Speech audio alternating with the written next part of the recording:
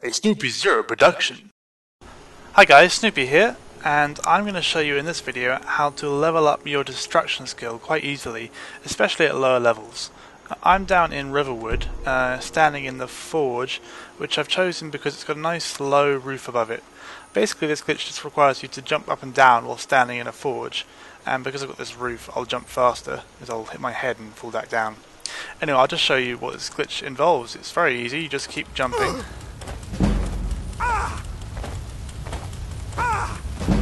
And you'll see that you level quite fast, especially at lower levels. I keep running forwards um, because as you jump you get pushed back by the roof. Um, but when you're at the front of the forge you jump faster.